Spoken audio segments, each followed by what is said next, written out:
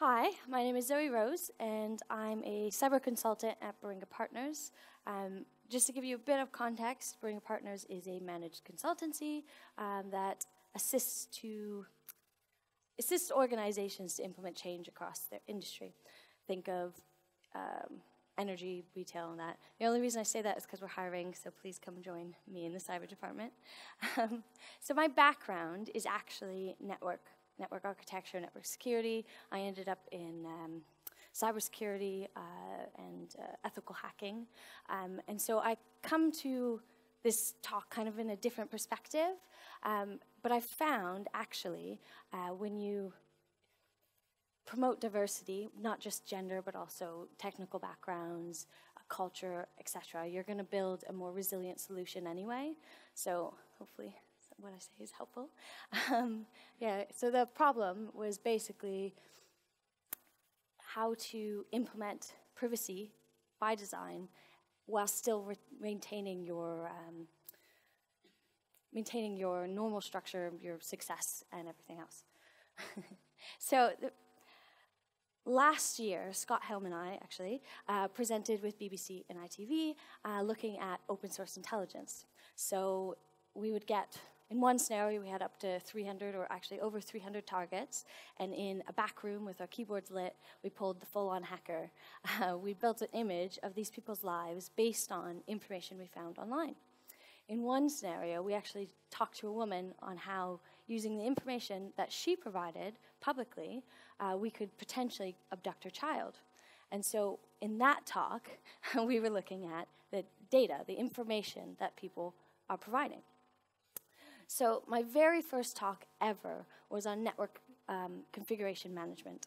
Fast forward a couple years from Australia to London, I've spoken on secure communications, breach response, ethical hacking, etc. And all of those talks were geared around how to protect that data.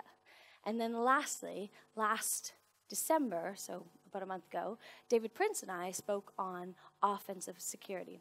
It was a cyber awareness program that we implemented that was the theory was, or the hypothesis was, which we were later able to um, uh, validate, was if we taught non technical users how to hack, they could better prepare, protect, and understand why these technical uh, controls are in place and how to continue cybersecurity throughout their entire life cycle.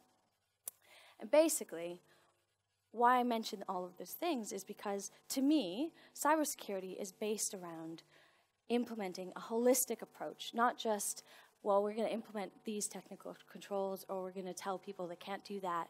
It's actually, to be effective in the long term, it's looking at multiple different scenarios like technology, people, processes. And so I've separated that into three domains.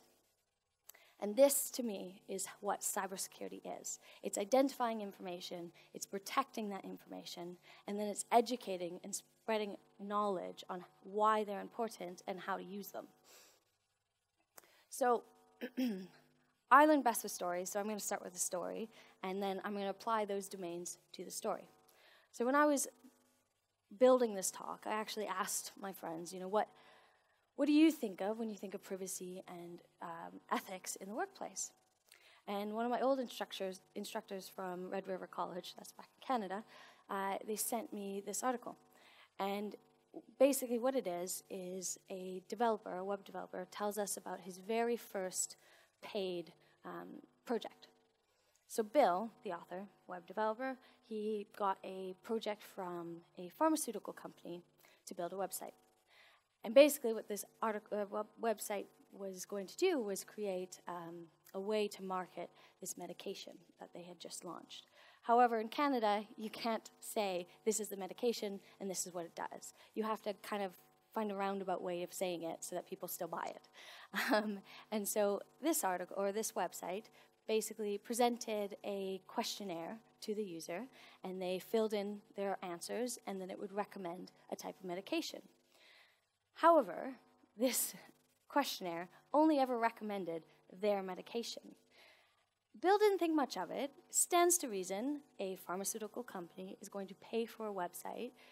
They're probably going to want their medication displayed. The only exception is if you're currently taking that medication or if you're allergic. So he launched the website and went live. It was perfect. Everybody loved it. The company was actually so impressed, they invited the entire team out to a steak dinner.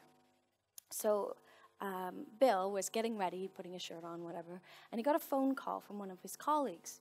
They said, Have you seen the news? And Bill said, No, because he's getting ready. Um, he hadn't.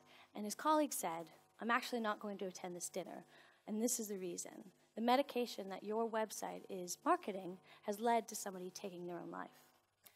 What's even worse is that would not be the only suicide due to side effects of that medication. And there would actually be legal battles over it. And from the time that this article was published, there was still, uh, I don't want to call it litigations, I guess. To this day, there were still people um, that were affected by it um, in legal action.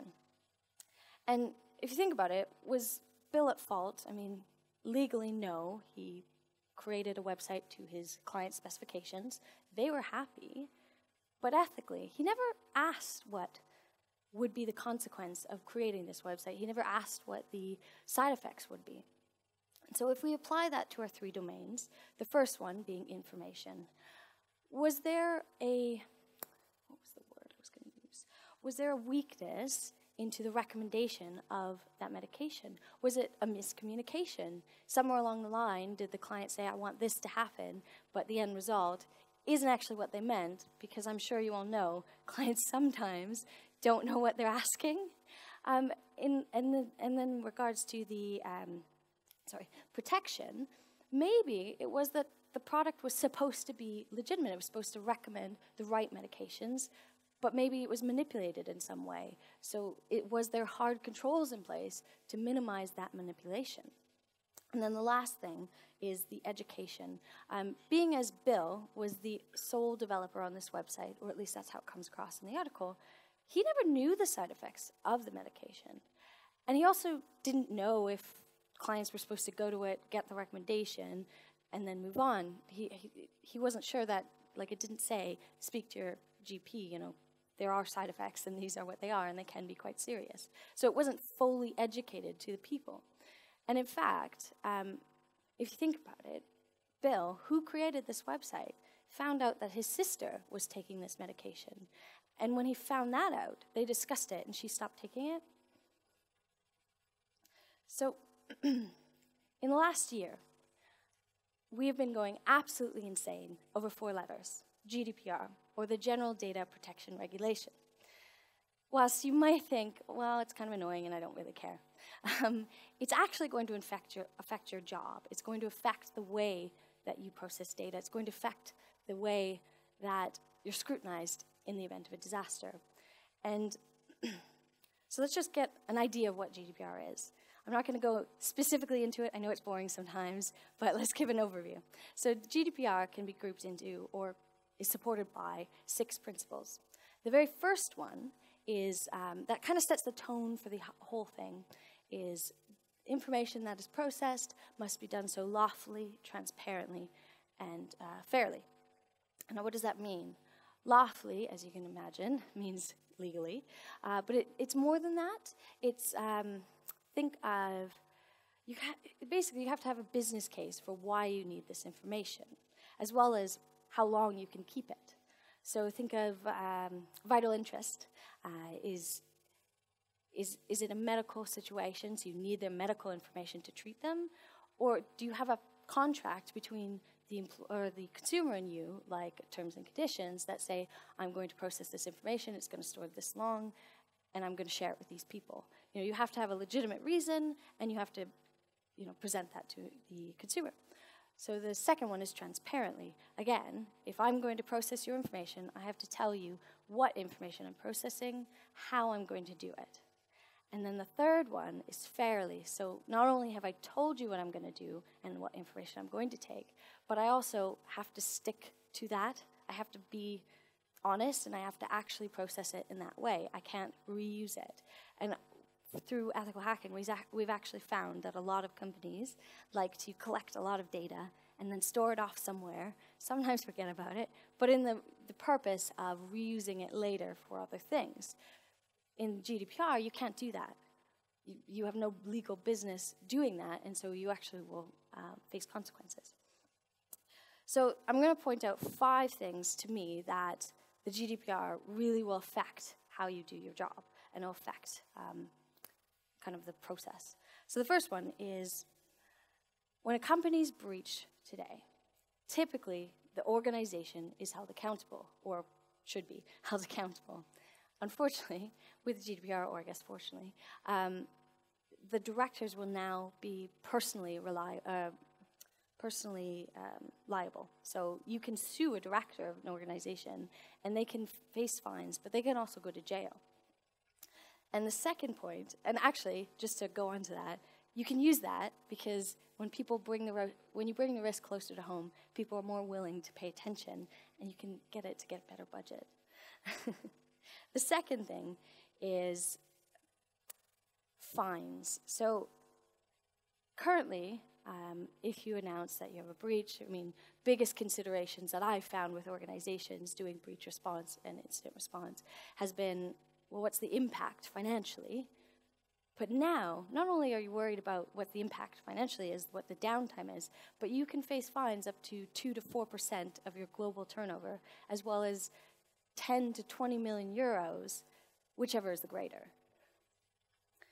And then the third thing, which really affected how I presented this to people, uh, to organizations, is currently you have to, if you have to notify, you only have to do it in certain places sometimes, especially the States, it's really confusing. The minute you cross the line, it's completely different requirements. I'm Canadian, I want to clarify. Um, but, uh, just saying. Uh, but now, you have 72 hours to not only declare that you've been breached, but have mitigations that you'll put in place for next time to minimize impact or reduce the likelihood, as well as lessons learned. You have to have a formal process to say, this is what we learned in this incident, which is something that most people forget. So not only do you have to, you have to declare it to the ICO or the legal um, regulatory body, wherever you are, and you also have to do it in 72 hours with the expectation that you will notify them the minute you're aware. Not at 72 hours on the dot, you hand over a report. It's the minute you're aware, by the way, we've been breached and this is what we're doing, because then it will actually help reduce those fines. The fourth thing is you have to have a data, uh, what was it? Data protection officer in house. And this person doesn't have a operations role. Um, they're simply there to provide information and guidance. Although, from a cyber background, um, I would almost say they're like an insider because they don't report to you. They report to the regulatory body. So they can then say, well, you're not following my standards or the standards that are put on you, so I'm going to go tell on you, essentially. I have younger siblings. It happens all the time. It's awful. Um, but but if you think about it, you can't just fire them either because they're going to have enhanced, um, uh, what's the word? Enhanced, uh, I wrote it down because I knew I'd forget it. Enhanced um, employment rights, that's the word. And so you have to have them working for you for a minimum of two years. You can't just say, well, you don't really fit with the organization, so we're going to shut you at the door. Sorry, did I skip one? Oh, no, good. Um, and the last one, and the one that actually is my most, the one I try to get across the most, and the one that I find is really cool, is privacy by design. So this is not the minute your project is done, the minute your product is ready for sale, okay, we're going to retest it now. And then we're going to find out all the issues with it. No, it's from the concept of design. It's from the minute you have that idea. So when you design a project that you're going to put up on GitHub or you're going to go do. You have to think of security, but also privacy uh, controls from the start. So you have to implement it in your design. You have to look at, as I said earlier, minimal data. So only what you have a business case to take, and you have to think of how long you can store it. And one thing that people often forget, which you've probably come across, is when a person does think it's called a personal subject access request or subject access request. And that is I'm going to call Scott, and I want to know all of the information because he's a business, he's not a person, obviously. I'm gonna, I want to know all the information that you have on me. And you have to, within 30 days, provide that information. And that's not business days, that's 30 days in general, so one month, a little bit over February. However, there have been situations, we had a client, there was a person or a company, that um, they were a private members club, which I'm sure you know what that is. And they had a routine, a private members club, you don't know what it is. but they had a routine or a culture of writing rude comments on the people coming in. They would um, rate you by what they thought of you coming in. However, what happens when you do a subject access, access request and a new person does that request and doesn't sanitize the information? I will tell you, it leads to very, very poor reputation following and a lot of legal work. Um, so you have to be mindful of what information you're doing, how you're storing it, as well as how is this going to affect in the future because you'll be an, under a lot more scrutiny. And the last one, which you can imagine, is you can only share information with those who require it. This is in your organization, but also third parties. Uh, looking at something like uh, the session replay scripts. I mean, I'm sure you've read, I think it was in November, they were reported quite quite a lot on organizations that had session replay um, on the session replay scripts on their website in an effort to better understand how people interact with the website. However, it also is found out that they were giving private information to third parties. And those third parties would, you know, you would sign into the website on HTTPS, awesome. However, those third parties were using HTTP to replay. And it was giving information such as your credit card details, your password, um, somebody logging in to get a new prescription. It would give you the details because those were displayed. It gave you the details of their medical conditions as well as the medications they're taking. And that is highly sensitive information. But they didn't really consider that when they added in that third party. And actually, from those articles, they stopped using them, some of them stopped using it. But that was something that you have to consider from the conception of your idea, not just at the end when a security researcher says, by the way, you're doing this and it's wrong. so now we're going to look at Equifax. And I'm sure you've all heard of it, I would hope. Um, you may be in it. Uh, but basically, I'm not going to go through this blame game. I completely hate when one person is blamed for this entire organization. A lot of times, anytime there's a disaster, you know, somebody's fired, it's like, oh, it was actually all of David's fault. It was his fault. Nobody else's, just his. In reality, if one system having one issue, regardless of how fast you patched it, can affect your entire system, you've actually failed in the design phase. You failed all the way in the beginning, before anything was implemented. As a network architect in my background, I designed the network based on likely scenarios. I based it on the threat actors. I did threat mapping. I kind of figured out what the vulnerabilities in that, in those, um, sorry, those trends in that industry. I looked at who may want to attack my client, and I designed a network around that.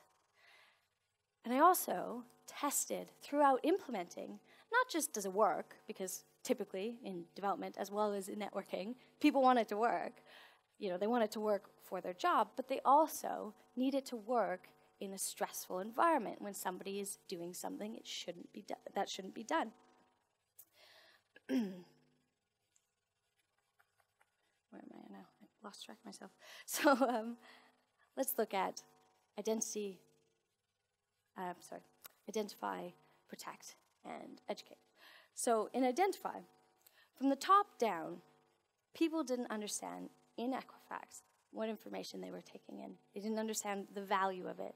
They didn't, because if they did, there'd be greater budget put towards securing it, there'd be greater controls, and they would have done it effectively and actually caught it probably a little bit sooner than after I think it was two months or more, actually. But um, the other thing is, when it comes to protecting, if you don't do that first step of identifying your data, you're not going to prioritize it properly because we all have budgets and we all have to align with that budget, and we cannot in any way implement these highly secure technical controls on every freaking thing in our network. It's just not going to be effective. It's not going to work. You're going to get reports on the most random things, as well as nobody will pay attention to them. And it's going to cost so much that people are just not going to maintain it. So the first step, as I said, identify. The second step is prioritize around that.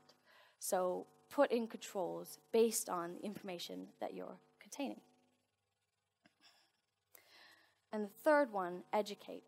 So it's no longer okay for senior level execs to say, you're doing something wrong, you failed at this, you did that. In reality, it should be us bragging about what we can do. So one of my friends, uh, Dr. Jessica Barker, she talks about social proof. So uh, you want to say things like, instead of this many people failed with this password, you want to say this many people succeeded in being secure. The reason is because people look at the negative and say, well, everyone else is failing, so why don't I fail? It's, it's kind of doomed from the start. So if you say, you know, this is this many people passed, and be like, well, these people succeeded, so I can succeed. But it's also kind of, it's, it's, I know it doesn't directly align with, but it's similar to when you go to an organization, you go to your boss and you say, "Oh, I failed on this. Oh, this this breach happened. Oh, this happened." Instead, you should say, "Actually, I stopped this many attacks. I secured against these many things. And yes, one failed, but I'm still freaking awesome. I'm still your superstar. Don't worry." and we in the or you in the dev community need to start you know, you, you need to start bragging about yourself, start saying, you know, we can do this and we can do that, because you're familiar with automation. You're familiar with very quick up and down cloud instances. You're, uh, you're familiar with automated testing and automated builds. You, you understand that. You understand putting controls so it chooses the um, currently best library and so on. You know what that is. So why don't you implement privacy into that? And actually, I think I have a really good, uh, I'll give that in a second. But I have a good quote for that. Um, but basically, you need to lead the way because you're already good at it. You already know what you're doing. So just add one thing into it because it's not going to affect how fast you are. If you do it properly, if you do it in the design, you're still going to be as productive, you're still going to be as quick, but you'll also be secure. And so when you're scrutinized in the future, you know, you'll be like, yeah, but I did this and I did that. So uh, you could be uh, the superhero that they didn't deserve, but they so sorely needed. a bit cheesy, okay. So you can think, instead of, when something happens, when, when there's a breach, instead of being, oh, you know, I should have done this, and the decision I made actually led to that breach. Instead, you can say, you know what, we were breached, something did fail. However, the decision that I made actually minimized the impact. So I secured this with, yeah, I mean, the standard is this, but I did it even better. And so now, even though that client's information has been taken, that information won't be affected because it'll take them years to un- understand it, to be able to process it. Whereas in that case, you actually solved an issue that you maybe didn't expect, but you still did it, and you still protected ultimately you protected your users. So I'm actually going quite quickly through this, but that's okay. I'm on my last slide.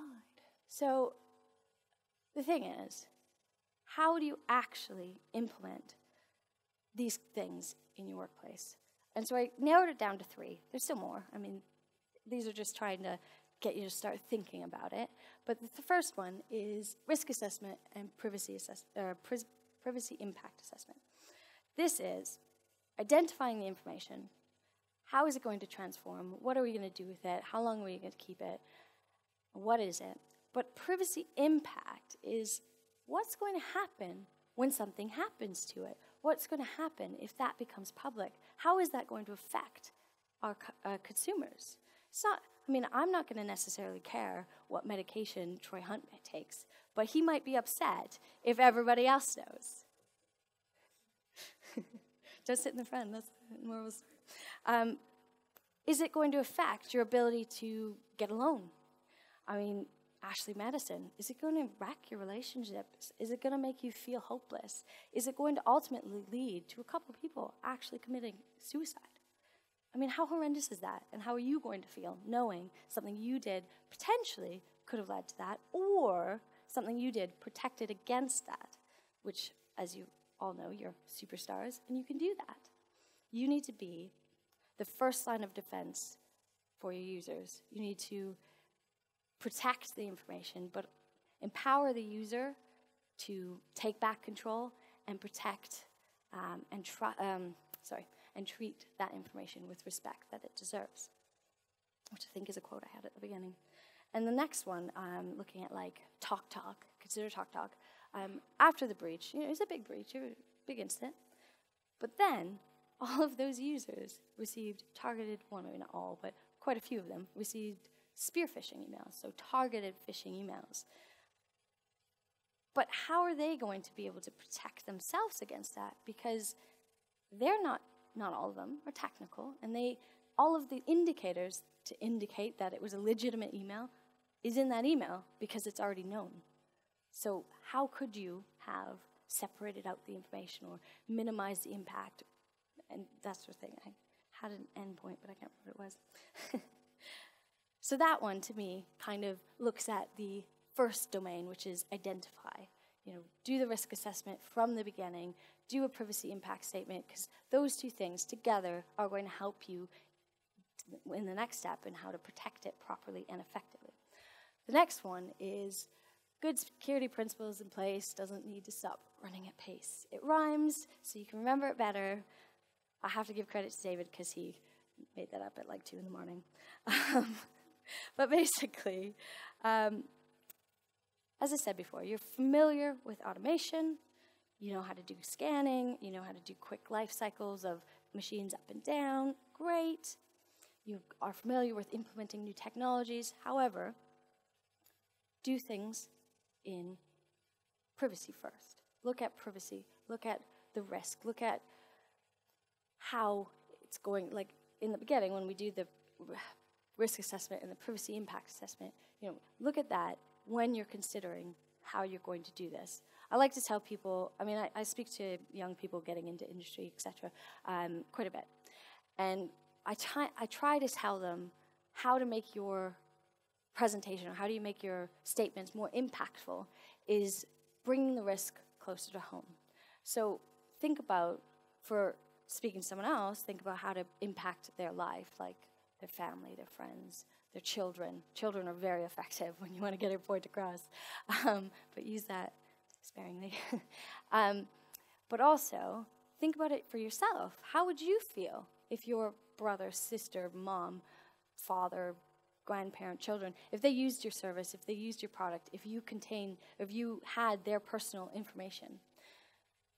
In Bill's case, in the very first story I told you, his sister was taking that medication and she stopped taking it. And I mean, the title is pretty good indicator. He's ashamed of that code because of what happened. So if he had thought in the beginning of what potentially could have happened, because one of his colleagues did say to him, You do realize that this questionnaire is flawed. And he's like, Yeah, I know, that's cool.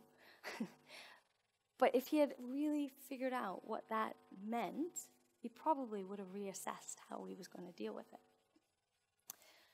You have experience as DevOps, as whichever sector you're in.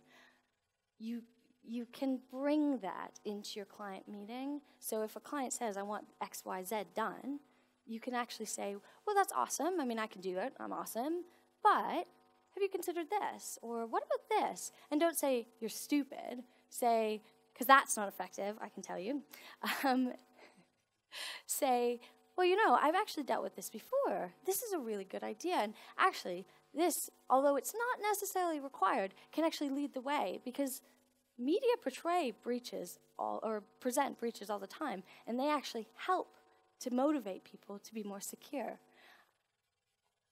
As somebody that advertises themselves as an ethical hacker. I mean, yes, a lot of times I do get things like, how do I know if I'm being stalked? How do, how do I track my girlfriend? Unfortunately, I get that a lot.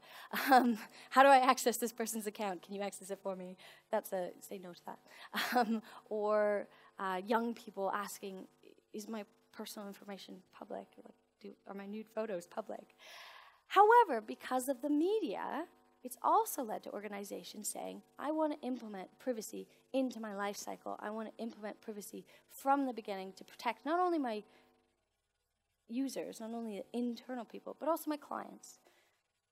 And if, if they already have that motivation, then it's really, I'm not going to say easy, but it will assist. And you saying, well, what about this idea? Because you've seen it before, you know what's going to fall or what's going to fail. So, you know, use your knowledge. And the last one is, um, oh, actually, I was going to mention one thing about that one. You can use things like frameworks to measure against, such as ISO 27101, I think. Um, and so, just as an example, I'm not saying you all have to align with that, but you could, there are things that exist out there, and they are going to be continually de developing as of May because everybody has to align with GDPR. So align yourself with a standard um, and try and work against that.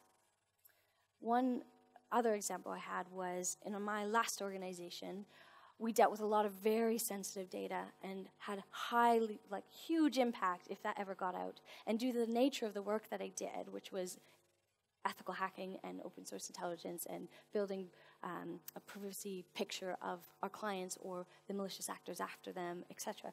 If that information got out, it would be devastating. But if it got into the wrong hands as well, it could be also devastating. And I don't want to, I wouldn't want to impact people negatively because my goal, my passion, is to educate and protect. So what we did is we actually um, we created a board of ethics. And when something didn't quite seem right or didn't align with what we wanted, it didn't align with how we wanted to direct our organization, we brought it up to the board of ethics. And whilst you might think, well, I mean, that's a lot of work, but, but, it's actually hugely beneficial because if I raise an, an issue and they assess, well, actually, that's acceptable, it's not a big deal, I haven't wasted time because the group's already formed, the, uh, the process has already been practiced, and they know what to do. And sometimes it did lead to alternative solutions, but having a kind of an independent view makes it more effective because you're like, can you sanity check this? Because to me, this makes 100% sense. To you, it might not at all. it just it just happens that way. Um, and the last one is educate whilst it's important to tell your consumers, legally, it's important to tell your consumers what information you're going to use, it's also important to realize that top execs sometimes are so far removed that it's not their fault they don't understand. It's actually, they just, they just can't, they don't get it. And so it's your job to inform them. How many people in this room, outside of this conference, have attended formal secure coding practices or um, yeah, okay. It's like five or six, or seven. Okay, that's not bad. Now look at actually your extended teams. You know, you get it, okay. I mean, you care about security, that's why you're here. But look at your other teams, especially people that don't get it. Bring the risk to them, help them understand, and as well as that will help you follow the trends in industry. It will help you keep your threat map up to date. And you can actually connect with other people. Conferences are a great way, training courses are a great way to see what they do in their place. And maybe you have a very similar scenario and they've said they've dealt with before so they can help you they can advise you i mean sometimes don't listen to some things they say but some things apply so as I said, we need to be the first line of defense for our users, our consumers. We need to empower those users to protect themselves, but also treat the information with the respect that it deserves. We need to say no when organizations want to put in our terms and conditions the remove the ability for us to sue after. We need to stand up when our IoT devices have never been tested for exploitability, and we need to say we need to say something if we market our products or our solution as 100% secure when we know very well that no external person has ever viewed that product. I'm not saying this is going to solve everything. However, by protecting those who cannot protect themselves and by bringing the liability back to the manufacturer, we can actually work towards creating a more secure and safer world.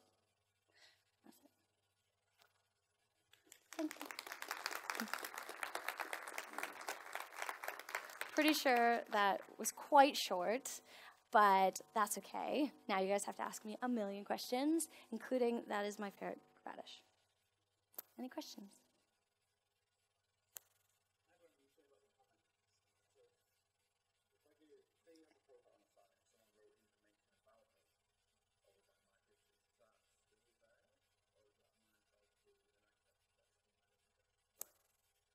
So you're asking if somebody's presenting your research as their own? Right, right. Yeah. Yeah.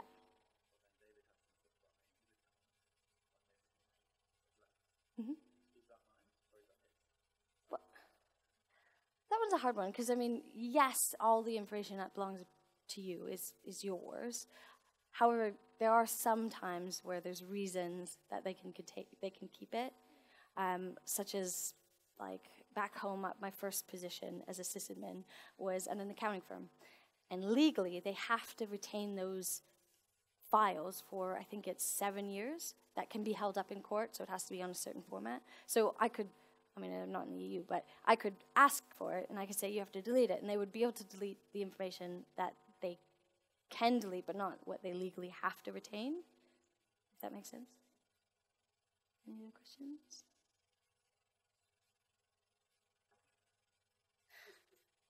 One thing, I think the point you made around motivation is a really important one. It kind of reminded me of, I think that's what it was on social media where, I, I don't know, it reminded me in Troy about a number of people who don't need to about authentication. Mm-hmm.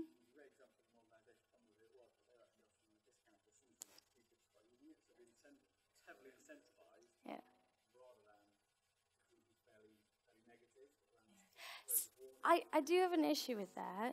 I, I mean, I get it. I, I, I like it. It's good. It's a motivation to do it. But also, I don't think people should be. Yeah, they should want to do it. You, my, my goal. Yeah, they don't. That's true. Because I remember you. I'm pretty sure you presented one time or wrote an article about how, you know, Dropbox has the option to use 2FA, but only one percent or something use it. Thankfully, I use it. I checked, double checked. But basically, um, my goal is to motivate people to care about their own information because sometimes they don't know they have a right to privacy. Sometimes they say, "Oh, you know, only only a bad person needs privacy," but that's not true. And before one of the versions, one of the versions back on my slides, is I present why that's not true, and that's looking at things like when somebody that I'm not going to name that has ecstasy pills in his face, which if you attended his talk, you know. Um, but he said that, you know, transgenders are too expensive. And I'm like, okay, you can't do that. That's not, that's not okay. And I'm not saying they have to be private, it has to be private information, but that's still using information against you. You know, if in, uh, in Cairo, I believe, uh, they, yes, it was Cairo, they used Grindr, the police used Grindr to target men using it. If you don't know, Grindr is a dating app for um, men that are interested in other men. It's not legal in that country, it's not illegal, but they did use it to round up men that are interested in men, gay people, or gay men, I guess. Um, and it, they targeted them, and then they arrested them. And I'm sorry, but I do not want to be in Cairo jail. In Texas, four men pretended to be a, um, a male looking for another male and came to that other man's house, the fifth man's house, and verbally and physically abused him and then robbed him. And it could have ended even worse, but even that is terrifying. I mean, how scary would it be to then go on their next date knowing that it could be four very burly men that are afraid of their own sexuality to target you? You know, like, I don't know if I actually answered your question. Sometimes I get in a rant. Uh, okay. Basically, you have to motivate people outside of being like, oh, financial. Also motivate them saying, this is your information, you have a right to it, and this is how you do it. Bring the risk closer to them so they understand. When I do personal privacy talks, I talk about children, family, elderly parents, etc. Because parents, especially parents, care a lot about young people and their, their right to privacy and their right to be safe. Answer. Okay. I don't have to, you guys don't have to stay if you um, but again, we are hiring. Come take my card. Work with me, please. Thank you.